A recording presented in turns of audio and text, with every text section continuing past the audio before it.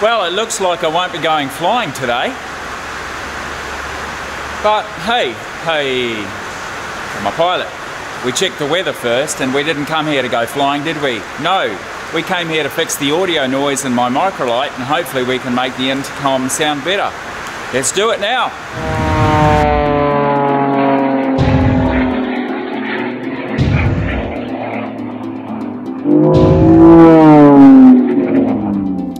The words of a well-known YouTuber, it's me from the future.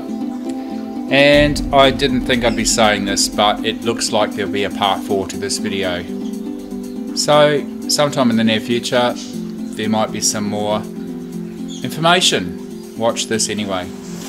Okay, we've got everything set up. We've got the oscilloscope over here, we've got a camera here, we've got a time-lapse camera here. You'll be able to see this whole thing in Technicolor, wonderful modern technology. So we're going to uh, use the strobe noise as an actual source for the noise on the intercom system um, rather than starting the engine. I can't go outside as you've just seen it's raining.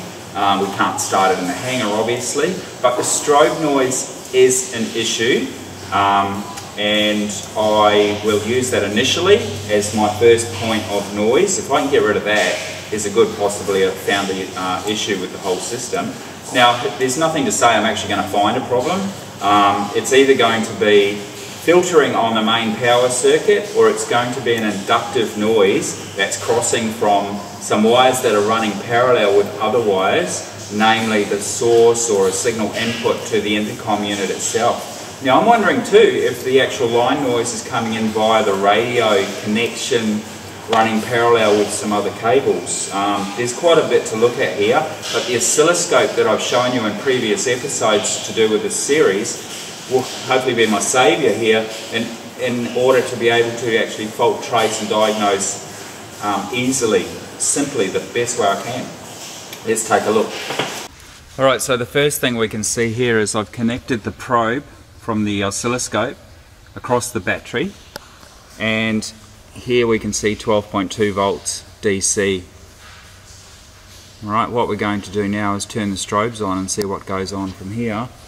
So here's the strobe switch. Strobe's on. Now of course, I don't see anything. So that's across the battery. Are the strobes working? Well, I can't see. Oh, well, I didn't think of that, did I? So the strobes are working, as you can see and across the battery as you can see there is no noise that I can see and that's connected directly across the battery. That's very interesting. I've now removed the seat pod in its entirety and uh, we can now completely see uh, where everything is underneath the seat um, that's the filter that I installed in a previous video to remove noise on the 12 volt line and we'll be having a look at that 12 volt line shortly directly with the oscilloscope over here. Alright, so that's an overview of what it looks like under the seat. There's my intercom and that's the source of, well, everything. That's where the audio comes from. There's a cable here. I'm trying to hold a torch, it's quite dark in here.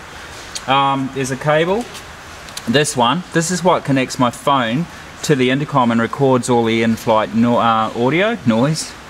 Yeah, that too. Um, it comes along under here and it connects into the audio in out port okay so that's where the audio is coming from on the trike um, but where's the actual noise being introduced so we'll be able to take this off here we'll be able to have a look at these sockets here and see if there's any noise going into the uh, intercom and we'll try and identify um, obviously it won't be that cable We'll try and identify if there's any other possible noises being introduction introduced somewhere else. So I've been also talking about induced noise, which is electromagnetic interference crossing cables um, electromagnetically, believe it or not. And as you can see here, there's some cables all bunched together running down this side of the base tube, going up to the dash, and there's some more on this side running up into the dash. So I'm wondering if that's where the noise is. You can see some cables here. I'll be undoing these cable ties zip ties, whatever you want to call them. And we'll have a look and see if the noise goes away. So there's quite a bit I can do here. Okay, um, I've got 100 millivolts per division on the oscilloscope um, connected on the DC 12 volt input to the intercom and uh, it's showing a 200 millivolt peak to peak strobe noise. The question is now, definitely a strobe noise, is that really enough to cause this?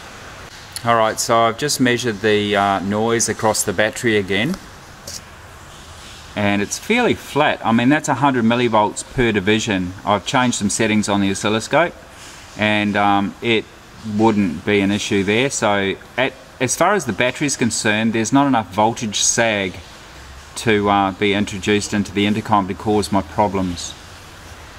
However, however, when I connect the probe directly to the 12 volt input into the intercom, I get 1, 2, 3, 400 millivolts peak to peak.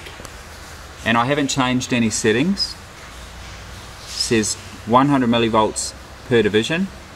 That's just kind of reducing and changing around a bit there. I have an earth lead directly connected to the battery and I've got the probe connected directly to the 12 volts going into the intercom. Interesting.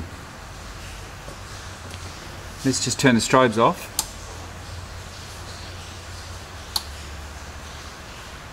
So how can, if I just now disconnect it from the intercom, put my finger on it, that's what it looks like with my finger on, and now connect it directly to the battery, look at the difference, the signal level is almost nothing. Why isn't the 12 volt supply the same why doesn't it look the same on the battery as it does on the intercom supply? Again, that's the intercom supply, 12 volts. Strobe on. Strobe off. If I turn the uh, landing light on, bang, you can see the light there on. But it's only a pulse, and once it's on, it's on. Turn it off, turn it on, off, on. Okay, so I'm still playing with this um, 12 volts input to the intercom versus the 12 volts actually supplied from the battery. Now remember the engine's not running, there's nothing running here except the strobe light.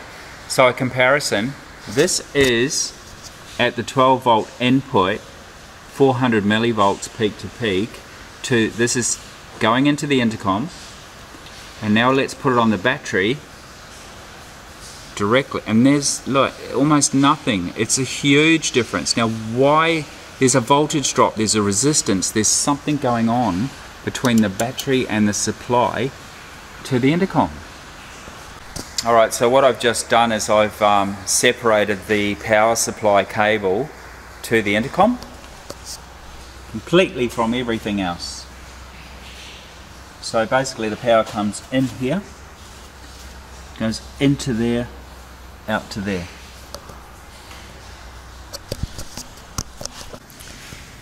Okay, I've just learnt something big.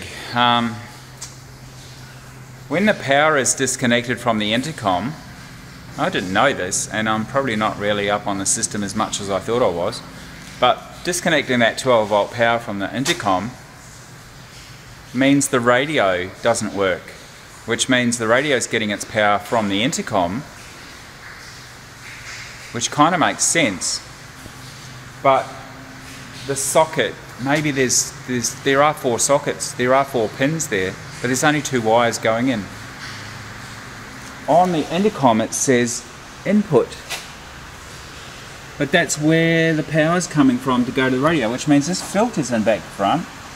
And the other thing that happens is with the power turned off, uh, disconnected, I turn the key on, and the actual intercom has power when the when the helmet's plugged in, which means the intercom's working, the radio isn't.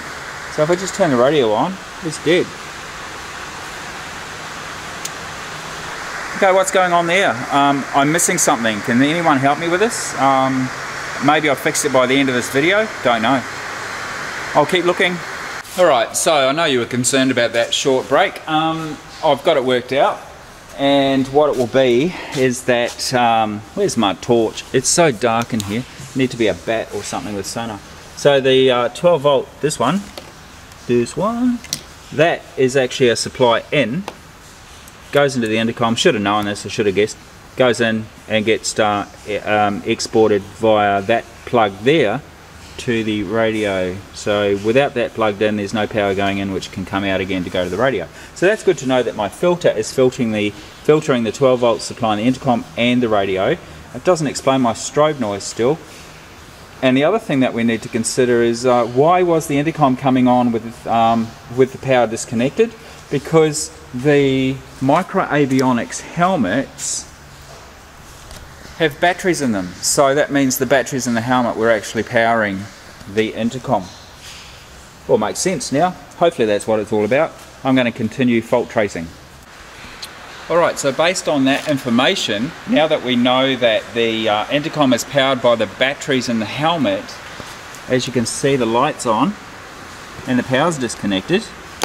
Um, if I turn the strobes on now with the power disconnected, do I hear the strobe noise? Okay, let's have a look. You won't hear it, but I will.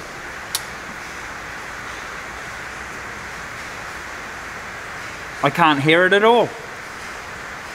That would suggest it's definitely coming in via the power source. Definitely power. So let's just turn the strobes off, turn... Actually, there's another point. The, um, the radio cable which sends the supply from the intercom to the radio could also be picking up noise in the cable and bringing it back to the intercom into the 12 volt source that way. Uh, by induction electromagnetic induction interference. Alright keep going. Alright so for this test I've uh, disconnected the radio um, cable which is supplying the power to the radio and I've reconnected the 12 volts into the intercom and the key is off at the moment so I've only got the one green light on the intercom. Now what we're going to do is turn the key on, you'll see power supplied to the intercom now on the 14 volt indicator there and now we're going to turn on the strobes. If I don't hear strobe noise now, my theory is if I don't hear strobe noise now the noise is coming back from the radio. If I do, it's nothing to do with the radio, it's all to do with the 12 volt input into the intercom because nothing else is connected. Here we go.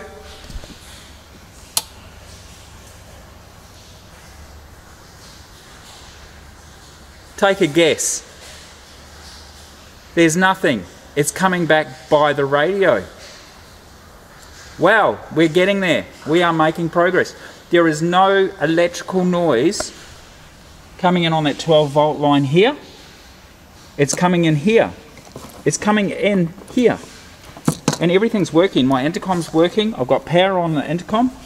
Um, I won't have power on the radio. Obviously, it's disconnected. That means... Okay, yay. Let's keep going.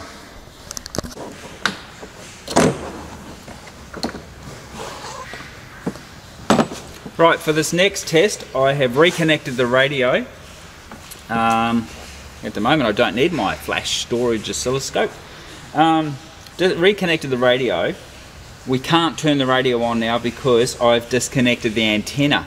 My new theory is possibly that the strobes are emitting enough electromagnetic interference or radiation, EMR, um, frequencies, EMF, whatever, and they are radiating into the antenna of the radio. Now, even though the radio doesn't show that it's receiving anything, is it possible that the antenna is uh, still feeding some sort of noise into the radio and then getting into my intercom, which is then, of course, being recorded and heard. Let's try um, turning on the key and the strobe. This is with the radio connected via the power don't know what's going to prove. I can't turn the radio on. But with the radio cable, so the cable between the intercom and the radio module, which is actually down here. I don't know if you can see. There's the radio module there. So we're going to start fault tracing this. The antenna's over the back there disconnected. We won't turn the radio on, but we will turn the strobes on now. And would you believe it, I can hear... okay. I can hear the strobes, so it's something to do with that cable or the module. It's not, yeah. Carry on. Okay, now I've um, still got the radio connected at the intercom, but we've disconnected it at the head unit, which is there. So that's now not connected to the actual head, uh, not head unit, the main radio block, and the antenna is still disconnected as well. So that unit there, that plug, um, is actually, uh, there's two cables coming out. One goes up to the actual head unit, that's the head unit, and that just controls what this module does and the other cable is the one that comes back to the intercom. Let's see what it does now. Turning the key on. And strobes on. Nothing, okay. So the, the power going into the, into the main unit is noisy. Okay, there's not a noise there. I'm going to end up with a flat battery in the trike, aren't I? Let's keep going. Oh, a little bit frustrating. Um, all I can do now is put it back together. The initial fault that you saw at the beginning where we had those pulses from the strobe lights is not showing up at all now. Um, I've got the lumen pieces. I'm wondering if there is still induction going on. I'm going to have to put it back together and see what happens. But at the moment, as you can see, well, strobe's going. And we've got 100 volt, a millivolts, 100 millivolts peak to peak, and it's not showing anything. And that's connected to the intercom power there. Um, everything's connected on the radio. The radio won't work because it gets powered from the intercom. So we'll just see how we go with putting it back together and uh, maybe it is a lead issue um, induction. I don't know. Alright, so I've been through everything. Um, at the moment it might be cable induction causing it. It is a noise that is not present unless the radio is connected. Um, I would say there's noise going into the actual radio module as I said before. At the moment all I can do, the fault's kind of not there, is reconnect. I've just got all the cables spread out. I had them spread out. I'm starting to put them back into the aircraft uh, reconnect everything. So all I can do is reconnect it and see what happens after I've done that. Um, we'll monitor it as we go piece by piece. Other than that oh this fault's gone away for the moment I've got most of the wiring back together there's a couple of uh, things that need to be restuck on um, so I'll have to wait until I can come back with some tape for that. And everything's pretty much back together though. Um, but what I do have to do as well is uh, say that I haven't really come to any conclusions. I can still hear strobe noise in my helmet. The strobe noise, as I said, is definitely coming via the radio uh, somehow. Yeah, it's it's it's got to be. I've re, I've just reran cables different ways, and they're still hanging apart a little bit, and I've still got the noise. We'll have to wait and see what it's like when we start the engine. All right, it's all back together except for two things I've just got to stick together, which won't be too hard to do later. Um, I'm going to do one final test. I'll record the audio for you with the phone that I'm using to record my voice right now.